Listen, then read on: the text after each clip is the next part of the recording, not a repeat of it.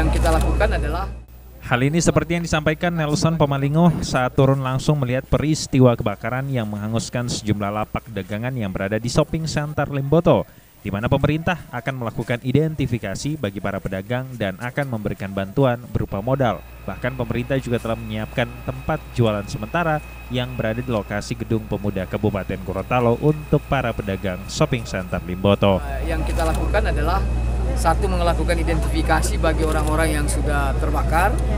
Tentunya pemerintah daerah akan membantu mereka. Nah, yang kedua, bagi orang yang menjual kami sudah menyiapkan juga lokasi pemindahan mereka. Nah, yaitu di gedung Pemuda. pemuda dan itu sudah siap.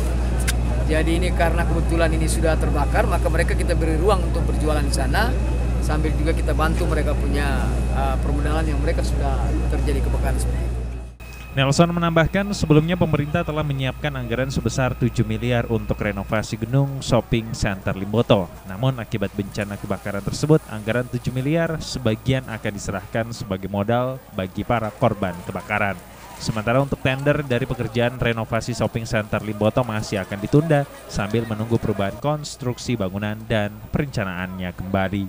Taufik Bimbing Mimosa TV mewartakan.